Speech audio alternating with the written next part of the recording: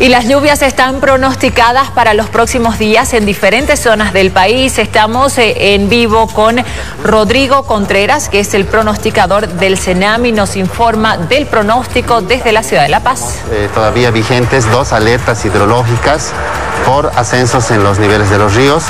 Eh, y bueno, mi compañera Lucía es la, en la parte hidrológica la encargada de, de las alertas hidrológicas. Lucía, ¿qué tipo de alertas, te decía, son hidrológicas muchas de ellas? ¿Y qué significan para las regiones estar en alerta naranja hidrológica? Bueno, gracias por, la cobertura, buenos días a su canal. Eh, es así, el CENAM ha emitido dos alertas eh, consecutivas, se podría decir, eh, por las precipitaciones, por la vulnerabilidad que puedan presentar en la zona. Son de pie de monte los ríos en los que hemos puesto la alerta. son con posibles desbordes, la última es la número 32, uh, perdón, la 32 y la 33 que hemos emitido. La 32 fue para, para todo lo que significa el norte de La Paz y parte de Yungas, varios ríos y mencionamos dentro de esta alerta los ríos principales, los cursos principales, sin descartar afluentes secundarios que pueden eh, tener algún desborde a lo largo de su sección. Eh, los ríos de pie de monte y el tipo de suelo, las pendientes del río, la humedad del suelo, hacen que eh, sea vulnerable la zona. Y son los ríos que mencionamos dentro de nuestras alertas. ¿Cuáles son los ríos que corren mayor riesgo en esta época de lluvia? Porque va a llover hasta marzo y en estas dos regiones, en Cochabamba y en Santa Cruz. Bueno, la última alerta es esa, precisamente, en el trópico de Cochabamba eh, y en lo que significa el Piraí, Yapacaní. Eh, son vulnerables por el tipo de suelo que presentan. Allá en el trópico de Cochabamba son ríos de pie de monte, considerados así. Eh, reciben alimento de otros, de otros, de unos ríos secundarios, hacen que su crecida y su eh, vulnerabilidad sea mayor. Entonces, es por esa razón que nosotros hemos emitido la alerta naranja hidrológica con posibles desbordes. Eh, han ascendido los niveles allá en el trópico de Cochabamba. Es así, han ascendido, han llegado a, ascender en forma repentina. felizmente no han desbordado, y lo que significa en, Santa Cruz, eh, tiene un tipo de suelo que se satura inmediatamente, precipita bastante, lo que iba a suceder ayer, y se esperan crecidas todavía hasta el día 16. Eh, bueno, eh, vamos a esperar esas crecidas que puedan ser en algún lugar de la sección de, de, los ríos que competen en esas dos cuencas, tanto Yapacaní como Piraí, que están dentro de la alerta naranja.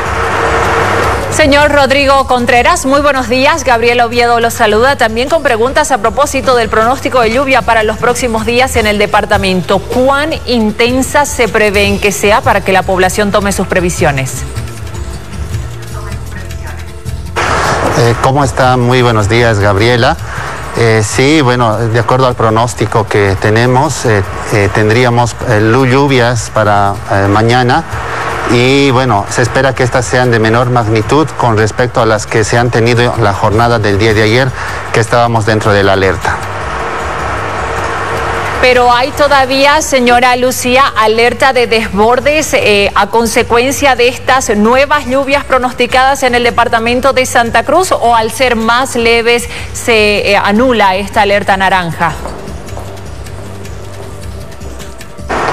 Esta alerta naranja eh, fue emitida por la vulnerabilidad que presenta el lugar, por el tipo de suelo que, tiene, ¿no? Es un tipo de suelo que se satura inmediatamente, como les indicaba.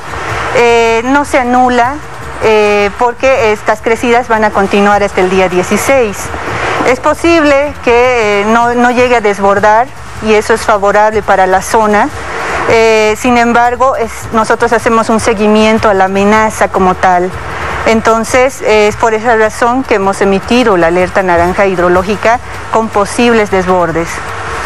Rodrigo, como pronosticador, ¿estamos dentro del lapso normal de temporada de lluvias que estas duren hasta marzo? Sí, eh, indicar que la época de lluvias formalmente comienza en, diciembre y como ya lo decía se extiende hasta marzo, de manera que estamos en la época plena de lluvias, ¿no? Y bueno, eh, ya lo decías tú también, hay que tomar los recaudos, eh, tomar las previsiones porque las lluvias van a continuar. Una pregunta más, Rodrigo. En Yacuiba hubo lluvias, vientos huracanados y fue realmente intenso lo que pasó y se vivió en los últimos días. ¿A qué se debió este fenómeno? Bueno, en el sector de Yacuiba eh, bueno, inició ¿no? el ingreso de bueno, una línea, o sea, inestabilidad en la atmósfera, lo cual provoca eh, esta, o desencadena ¿no? este fenómeno, ¿no? Y vientos intensos, eh, lluvias con tormentas, incluso granizos, ¿no? Podríamos tenerlas y son violentos, ¿no? Cuando, cuando hay energía, ¿no? Calentamiento y la energía eh, que tiene la atmósfera, ¿no? Si tenemos estos elementos, entonces puede haber un fenómeno fuerte como lo decías, ¿no? Vientos, eh, granizo, que es fuerte, ¿no? Y eh, podríamos tenerlo en esta época de lluvias. Bien, gracias a ambos. Bien, de esta manera entonces conocemos un poco más sobre el pronóstico del clima para los próximos días, especialmente para el departamento de Santa Cruz. Habrá otra lluvia mañana, aunque de menor intensidad. Tome sus previsiones.